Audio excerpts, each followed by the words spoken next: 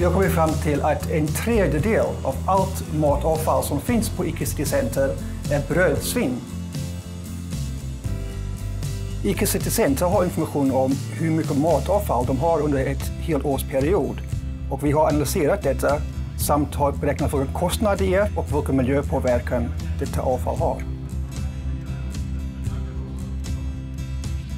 Det har mycket stor betydelse för att andra studier som är gjorda av SLU visar att andra matbutiker har lika mycket brödsvin och vi vet också att hushåll har mycket stor andel brödsvin i deras matavfall.